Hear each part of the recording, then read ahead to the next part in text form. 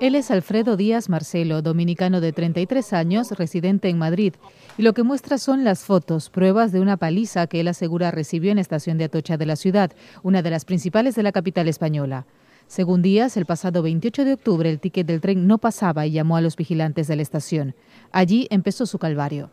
Veo que viene, pero no viene con un buen carácter, viene ya con la mano puesta en la porra y le digo que mi bono no me pasa, que si se puede cambiar y luego cuando me tira, pues yo le agarro la mano para que no me dé. Y llama a su compañero y ahí cuando me dan, cuando recibo el primer golpe aquí, bueno, pues ya de ahí le digo que, que ya, que no me basta, que me han partido.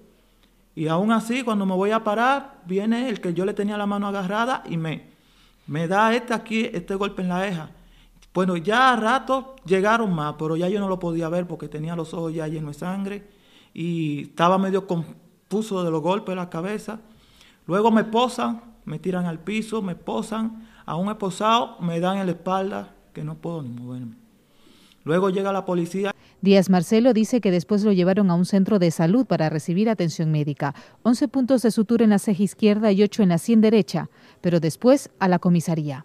Según la policía, el joven dominicano estuvo detenido acusado de atentado a agente de la autoridad, desobediencia y resistencia. Alfredo asegura que estuvo dos días detenido y que se refirieron a él de modo despectivo. Lo dijo como entre los dientes, eh, el negro ese.